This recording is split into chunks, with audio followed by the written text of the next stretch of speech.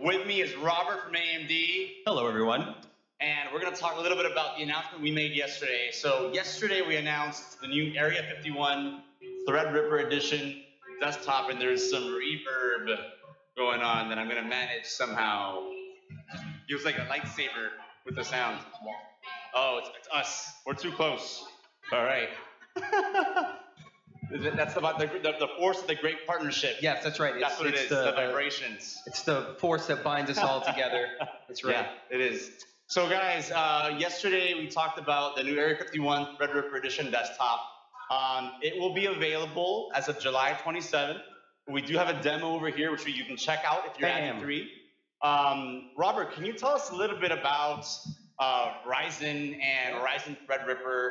Um, I'm sure the crowd's curious to know where it all came from, how it got started. Sure. So, um, started in March when we released the Ryzen CPU. Uh, we wanted to create this multi-core processor that that mostly does gaming, but can also do some heavy lifting when people do anything else on their computer. Which people are streaming, people are rendering, people are creating videos for YouTube. This stuff happens all the time, right? Yeah. Uh, so having uh, four cores on a CPU is not enough for Well- those things at speed. Well, I mean, it's great if you're a straight up gamer. Just right? gamer. Yeah, um, and if you're a hardcore gamer, four cores is awesome too.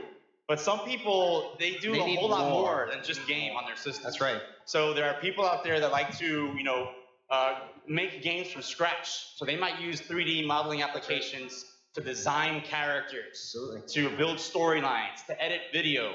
Um, and then there are some gamers that, you know, they, that they, they game, they record, they stream all at the same time. Um, and some people just want the best of the best. And that's what this is all about, right? We're bringing to you guys the new best from AMD in our Area 51 platform. That's right.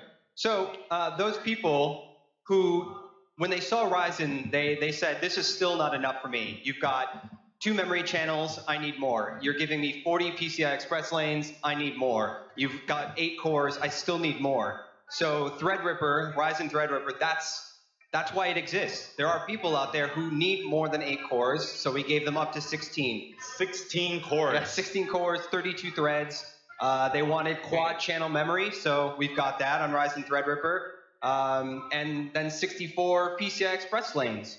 So if you wanted to run three GPUs with uh, 16 lanes of PCI Express, you can do that. You can still have NVMe drives and SATA Yeah. disks and And that's a good point. So, so the new Area 51, the Threadripper, Threadripper Edition desktop, that's right. um, is so for the first time, Area 51 will also have an M.2 NVMe slot as well. Yeah. So we've been listening to you guys. Area 51 has not had the capability of a PCIe SSD drive. With this new platform, you will. So you'll be able to have the incredible performance of a PCIe SSD and tons of storage space on the storage cabinet where you can fit up to five extra drives as well. So that's like what, five drives plus an M.2 drive. That's six total storage drives on an Area 51. That's pretty awesome. Um, and, and, and our users are going to need that. They're going to Yes. want that, right? So people that want this kind of performance, can you tell us a little bit more about the kinds of applications Sure. that, that might benefit from a Threadripper platform? So uh, anybody that's interested in 3D modeling, uh, 3D rendering, digital audio workstations, uh, if you're an IT administrator that runs lots of virtual machines, if you want to do uh, 2D artwork, any any sort of creative application scales beautifully with cores, or even even game streaming scales with cores. The more cores you throw at OBS, uh, the better quality preset you can have. So if you're a game streamer, just throwing gobs of CPU horsepower at Yeah. that works beautifully, and then you can still game on the side. We have tons of cores available, so you could put eight cores on your creative app and another eight cores on your game. And now you're doing your rendering, which would take hours, and still using your computer at the same time with no slowdowns, which is huge. Yeah, that's awesome. And you know, so he mentions, you know, these applications that are core hungry, right? Yeah. We're actually going to do something really cool. All the Area 51s, the Threadripper editions, we're going to factory overclock all of them. And we're going to factory overclock all of the core. Not going to be like one core is overclocked or a set of the cores. All 16 cores and all 32 lots of threads will be factory overclocked when, you, Yeah. when you- you receive the system, no questions asked. So that, that's killer performance right there, right? So for, for any of you guys that really care about core count, that you know you love your games, you love your VR, but you also are a gamer that likes to create or a creator that likes to game, um, this is going to be an amazing platform for you guys. Uh, and because of the actual chip size and, and, and the power that this whole platform takes, it actually even incorporated new liquid cooling unit into, into there. So we actually Quiet. have our most powerful liquid cooling unit ever. That's right. Um, I mean, if you look at it, we, we have a system over there. The, the, the radiator in that thing is about 48 millimeters wide. Um, it uses a 120 millimeter fan, uh, and it's a great. It, it's got a 50,000 hour life cycle. So incredible. So just a little while then. That's Yeah. a little while. uh, which is incredible. So again, you know, Area 51's kicking ass. Um, great announcement today. Again, and we also have OEM exclusivity. So, you know, when this launches, uh, Alienware.com will be the first place ever that you could go go ahead and buy it. And I'm talking about a complete platform, the complete package, ordered with a delivery date, and then, you know, you can call that Christmas if you like at that point. Well, it's Christmas when my Threadripper shows up. All right, all right, yeah, for sure. Yeah. it is, it is. So It'll yeah, happen. So again, incredible part. Actually, have the the processor from uh, from yesterday's announcement. I was wondering where you were hiding you wanna it. you wanna Yeah, show it off? So uh, here is Threadripper. This thing is a monster. I love that. Uh, It, this is our 16 core chip.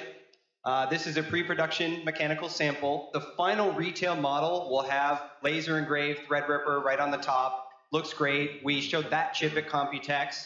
So this is uh, our highest end, best of the best CPU. Uh, the most number of PCI Express lanes, the fastest clock speeds we could put into a chip, uh, the most amount of memory channels. It's gonna be a beast. I'm really excited about this. Yeah, So we'll just put that bad boy I'm pumped right too. there. I'm pumped too. So you know, um, over the years, I mean, since '96, Alienware's been cranking out amazing desktops. Area 51 has won. I don't know how many, but I, I asked earlier, and it's over the hundreds in, in awards over the years. Uh, so we're really proud of the chassis. You know, it launched in October of 2014, uh, but it, it's the right platform to support this hardware. If you ever want to perform upgrades, if you ever want to add graphics cards, Easy. it's it's it's uh it's perfect for the DIY guy, and it's also perfect for for anyone who's looking for the best of the best, and they just want to order it, get it in their door. Maybe you don't have the time to build your own. Maybe you don't have the time to perform upgrades. Uh, it's a one-stop shop for massive performance. So we're really excited.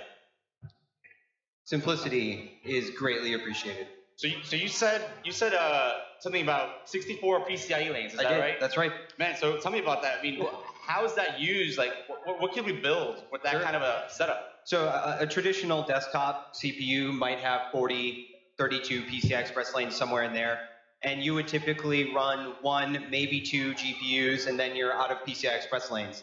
So you wouldn't be able to put in an NVMe drive, for example, which is the fastest SSD, or you would run out of lanes to put in a capture card, or you would run out of lanes for a wireless network card.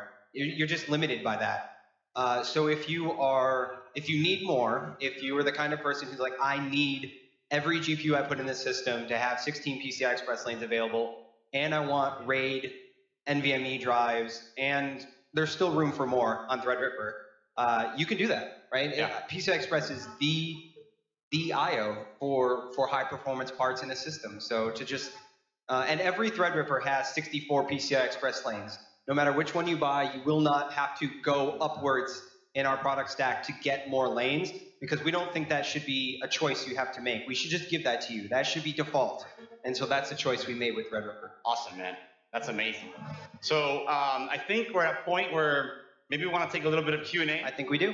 Um, so you know, uh, does anybody have any questions about the Threadripper platform? You see me? Oh wait. Yeah, yeah, yeah. And I'll give it back to you. Yeah, how much RAM can it handle? You said quad. Yeah. Quad So great question. We didn't mention that. So we'll be able to support a quad channel configuration uh, up to 64 gigs of memory in a quad channel configuration. Um, that that's pretty massive. I I believe it's what is it 29? Wait. Yeah, y'all have to share. Uh, in terms of the maximum supported memory by uh, by Threadripper, it's much higher. I think 256 gigabytes is what we support on the chip. So uh, if you're running a ton of virtual machines, just throw gobs of RAM and cores at it. It's a channel. Yeah, quad channel, 256 gigabytes of memory. And just for asking a question, you get a free Boom! Alienware. And it's only day one. Yes. Woo. oh, we got a question over here. oh yeah, here you go. You talked about uh, being able to designate certain cores for gaming while you're rendering with other cores. Is that done at the OS level, or does the app have to support being able to configure? Hey, I just want to use four cores right now. What, at what level is that is that controlled? You can do that in Windows 10. There's also a really great third-party utility called Process Lasso that I use that will do that automatically for you when it detects uh, the app start. Okay, here's another question. Uh, would it be inappropriate for me to throw money at you right now and grab one of the systems? Uh, everything up until the grab the system part, I'm totally okay with. Was that, was that a real question? I don't know. If I get money, it's a real question. okay, here. But okay, real question. Real questions. Sorry, so uh, when does this come out, or is when is the Threadripper available? Or That is an excellent question. Can't say the exact date yet, but availability is this summer. Awesome. Um, oh, there you go. Fantastic. All right, yeah. So I mean, we'll take. We're done. Yeah.